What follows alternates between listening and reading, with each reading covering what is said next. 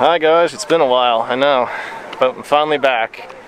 And uh, uh, we're doing a trip that I've wanted to do for about five or six years now. We're going to do the, uh, let me see if I can pronounce this right, the Revillagigedo Islands, otherwise known as the Socorro Islands. Uh, that's, that's the trip we're about to do. Uh, we got in yesterday, uh, stayed overnight. We're going to get on the boat later today, but I figured I should uh, I, uh, there was a sign here that the trip was, it was time to start talking and the trip would go well. And that's, uh, we were just going to walk the beach and we've just stumbled across uh, uh, a nest of baby turtles that are just hatching. So I think it's a good sign for the trip. I hope it is.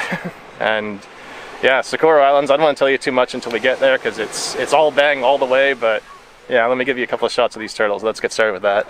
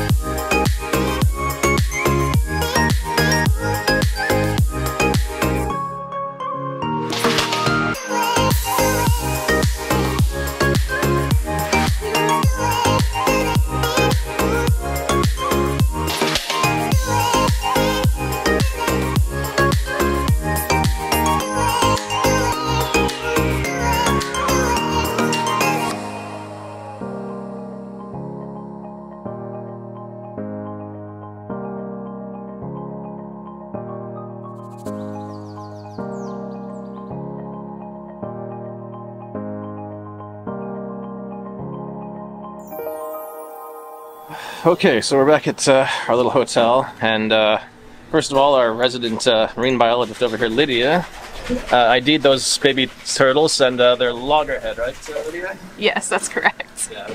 I figured I'll introduce the rest of the group. We've got Lydia, who's organized our trip for us. That's Nope. not That I'm Dina. Dina. Dina. Take Dina. That's Ly- Sorry, Lydia. Dina. Why did I do that? Edit. And then, yeah, and then we got Tom here. Hello. Yeah. Hola. No, that's Lydia too. We're all Yeah, we're all Lydia's now. It's, it's just happening. Anyways, I think uh, what I'll do is I'll tell you guys a bit about the trip. So um, we're on the uh, Quino El Guardian. Um, it's uh, with Lex- Mexico liveaboards, and uh, the one thing that's different about uh, Mexico liveaboards compared to most of the other ones is uh, we're in Cabo San Jose, and that's where we go out of. Versus uh, most of them are out in Cabo San Lucas. Uh, that's my understanding, anyways. Dina can correct me if I'm Oh, that's right. mistaken. Yeah, so coming here is a little bit different um, than than the typical, but uh, what we did was um, Dina took a. Tina's done this a few times, and she got us on a what's called the Collectivo, which comes. It's right uh, right at the airport, and then we went to what was it, the Tropicana Hotel, right? And then we just Ubered from there, and that's the, that was the cheapest way, and Yeah, I didn't have to think at all. It was great. So 28, and then the taxi was probably yeah. So, yeah, yeah. Uber, oh, wow, 70. Yeah. Anyways, guys, that's all I got for now. I hope we're waiting around still to get on the boat, uh, and we're just chatting and goofing off, so I'll leave it there for now.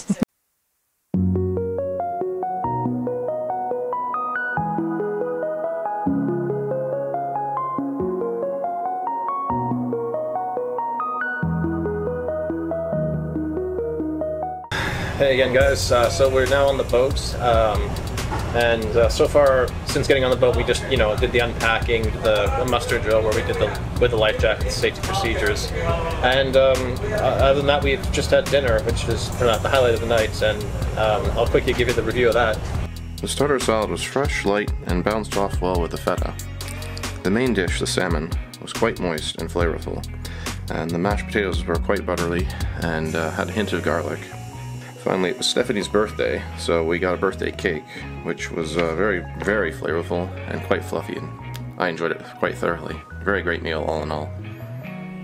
And uh, you probably might wonder why I haven't actually done a tour of the boat yet. Uh, the basics of that is because I'm saving that for tomorrow. Uh, so when you do these trips out to the Socorro Islands, or Revillagigedo Islands is the proper name for them, um, it's about a 26, 27 hour boat ride from port to the first island, which is San Benedicto. So that means all day tomorrow we're at sea, we're not doing any diving. So I figure nice time to just casually go through the, the boat, show you, you know, the galley, where we eat, uh, where I'm sleeping, all that. Um, so basically we'll continue this tomorrow, and uh, I'll see you when I wake up, and we'll get on with that. So, good night, guys. The ocean stretches before us endlessly. No sign of any island for hundreds of miles. And this is day one of the journey to the Socorro Islands.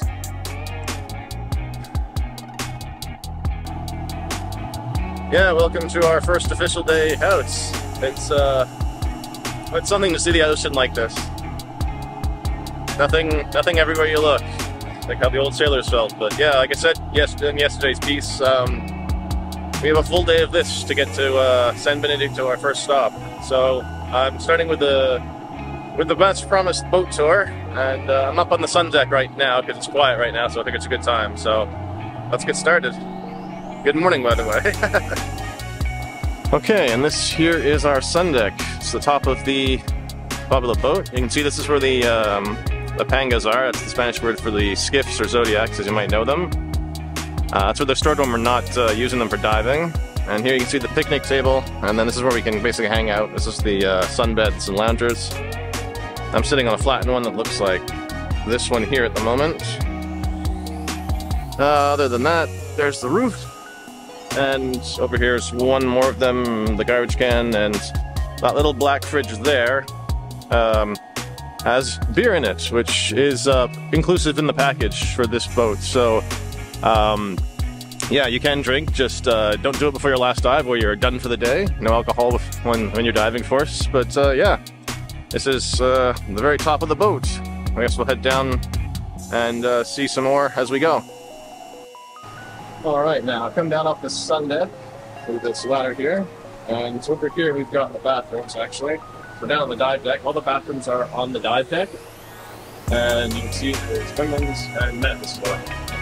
Take a quick look. This one's not locked. Got a full shower and a toilet in here. There it is. And then over here's our sink. There's another one like this on the other side. So the rest of the sun deck, you can see we've got all our gear here.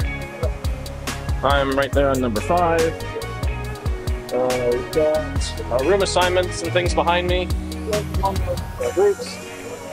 And down here, that is where the uh, pangas are going to uh, go in and out when we get on the dives, to go out for our dives. It's an important bit of the sun deck, which is obviously the camera tray table. It's not very loaded up right now. Uh, there's also a bunch of charging ports here. Uh, as you may have known, that uh, a lot of boats nowadays don't want us charging down in our rooms because of the risk of fire. But uh, up here is, my understanding at least, is just fine to charge your, your batteries up here. So that's uh, that's the camera tray area. That's the dive deck. Um, let's move along the side here. I'm gonna spin around. Sorry, it's harder to do than I thought. The boat is moving. Uh, now, I probably should mention the name of the boat is Quino El Guardian, and uh, it's an 80 foot former fishing vessel, so that's how it started its life. And uh, you can see just there, those are the stabilizers that they have. And uh, For those of you who are seasick prone, those are lovely things to have because they keep it from rocking too much. Other boats that are bigger than this will rock more because they don't have them. Um, they're very nice. I mean, there were still people seasick. I heard a couple people puking last night. I managed to not, thank- thankfully. But yeah, stabilizers. They're mwah, beautiful things. So coming down here by the stabilizers, the door to go inside. Hmm. It's going to be a bit darker in here, so we're. Oh, I'm waking people up. So it's not very bright in here right now. This is a TV room. A TV there. It's got seating, and the poor man sleeping that I'm disturbing. Sorry. Yeah. And uh, small note, I slept here last night because uh, we didn't find the air conditioning, and it gets really hot in the rooms if you don't have it on. So first night in the boat, make sure you turn the find the air conditioner and turn it on. Otherwise, you are going to be in a sweat box. Okay, next up, we're coming down the hallway. I don't break my camera, of course. Exploring the kitchen. Hey, just showing the kitchen off. There we go. yeah, so that's where all the magic of food comes from.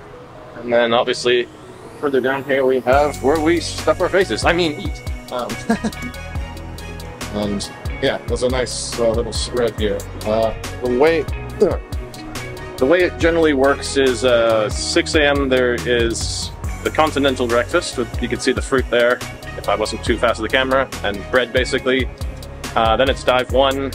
Uh, then it's real breakfast or full breakfast. Then dive two, then lunch. Dive three, then snack. Dive four, then uh, dinner, and then you're done. And sometimes it's three or four dives a day, but that's generally the pattern for the day and how we will be eating. Not that I've had a full day yet, but you know I can see the future. Okay, so I'm trying to do this out here where it's noisy. So yeah, I just came out of the kitchen door there, and if we walk along to the front of the ship, which is a little tricky, one hand. That's the that's the bridge basically where the captain is. We're gonna squeeze by this little spot here and do a Spider-Man. And ah, out here is the front of the ship. Wasn't very graceful, but there's a lovely sunrise. Well, sun's up now, but and as you can see, we're still looking at a whole lot of water. But yeah, that's the front of the ship, and that's pretty much the main deck. Uh, so only thing left now is to go downstairs and see where we sleep, because I didn't sleep there last night because uh, lack of air conditioning, like I said. Okay, and finally, where we uh, do our sleeping and, well, mostly sleeping. Uh, so, from the TV room, which is the TV again, uh, come down these steps into the bowels of the ship. And uh, like I said, Quino El Guardian uh, started life as a fishing vessel, so the accommodations are, are such that. Uh, so there's five rooms, you can see the numbers there, that's number three. I'm over there in number two. And most of these, um, I'll go into mine, hopefully no one's sleeping in there. Light switch is just here. Yeah, most of these it's bunks, it's bunks sleeping. So you've got same as what I had on Blackbeards, actually, the Sea Explorer. You got two and two. I'm down there this time, I'm on the top, uh, bottom bunk. And you get a drawer each. And the only different one is number five, which is on this side in the back. I got a clip of it yesterday that I'll put in here. And um, that's just two bunks uh, for two people instead of like double for the four here. I'm not expressing that well, but yeah. So this is the uh, this is the arrangements for living uh, or sleeping, basically, right? We live everywhere else that you've seen. But um, oh, and there's there's the aforementioned air conditioner, which is a lifesaver down here because it gets hot with four bodies. Um, I think I've now covered the entire boat, so I hope you enjoyed the tour, guys. Uh, from now on, you're going to see me, you know, living life on the boat, which is a lot more fun. But uh, hope you guys find this valuable if you're thinking about taking a, a trip with, you know, Guardian to see what you'd be, uh, what kind of conditions you'd be looking at for living and general hanging around the boat. Let's get on with the regular day now.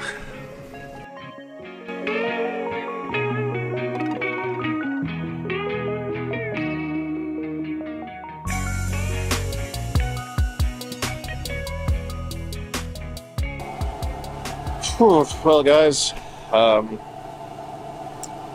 they weren't kidding when they said it was 26, 27 hours. We've been looking, uh, looking at nothing but the uh, ocean and the sky for the whole day today. And uh, given that there's not much to show you right now, aside from what I did earlier with the tour of the boat, I think I'm going to sign it off here and call this a video because tomorrow we will reach um, San Benedicto in the morning and we will start diving. And I figured that's a good, that's a good fresh video all by itself. So thanks very much for watching, guys. Hope you got some good information out of this one, and I'll see you in the next one, which for me is tomorrow and for you is about a week. Bye for now, guys.